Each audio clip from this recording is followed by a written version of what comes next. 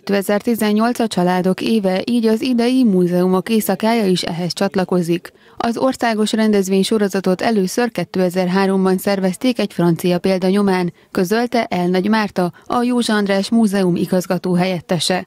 A múzeumnak fontos szerepe van a kultúra közvetítésben. Az év leghosszabb éjszakáján 18 órától hajnal kettőig várják az érdeklődőket.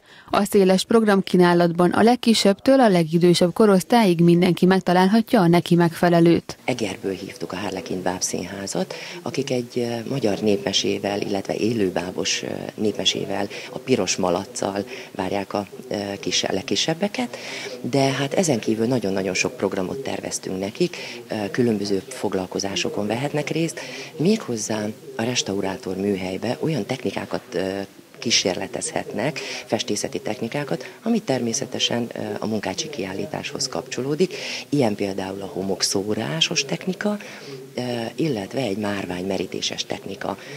Nyomozós játékkal is várjuk őket, méghozzá Munkácsi Mihályhoz és festményeihez kapcsolódóan minden kiállítást bejárhatnak, és hát ezzel kapcsolatosan kérdésekre kell, hogy válaszoljanak. De ezentúl csillagászok is érkeznek a múzeumba, akikkel napfoltokat nézhetnek a gyerekek, miután pedig lemegy a nap, galaxisokat és csillagokat vizsgálnak majd különféle eszközök segítségével.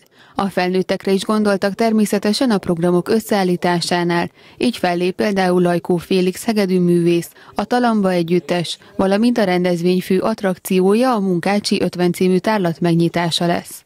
A kiállításhoz óránkénti tárlatvezetés is társul, de ezen túl a Nyírvíz palotában működő kálai gyűjteménynél is szerveztek programokat. A Nyírvíz palotába, illetve az, annak az udvarán az elsőlegesen egy szabatéri színpadot állítunk fel, 17 órakor van a kapunyítás a Kálai gyűjteménybe. Először is a kicsikre, gyerekekre gondolva egy interaktív mesejátékot tekintettek meg az érdeklődők, ez 16 óra, 17 óra 30-tól. Ezt követően 19 órától egy kiállítás megnyitónk lesz. Koszta Zoltán bőrműves iparművésznek lesz egy szép anyagból egy kiállítása, illetve ennek a megnyitója.